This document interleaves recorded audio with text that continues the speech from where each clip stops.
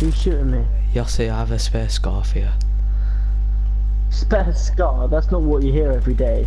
Come over here, to Hyper, if you want it. I've got a, I've got a purple scar. Yossi, you want one? Yossi. Oh yeah, right. But two. Yeah, I about? was, I'll just give it to you. Covered up to now.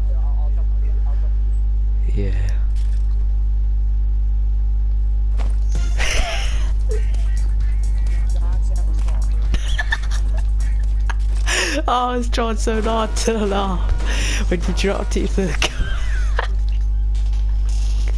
you dropped your scar for a randomer. I was literally about to take it. I was literally. Right, right, so so Matt,